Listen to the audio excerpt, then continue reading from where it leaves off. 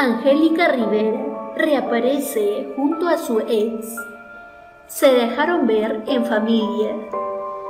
En la imagen se puede observar a Angélica Rivera, a Fernanda Castro y a José Alberto Castro conviviendo en familia, empezando mi cumpleaños con los amores de mi vida. Desde que Rivera se divorció del expresidente Enrique Peña Nieto, se le ha visto más cercana al padre de sus tres hijas, Elguero Castro, e incluso, como te lo informamos en una edición empresa, José Alberto y Angélica han estado pasando tiempo en Miami.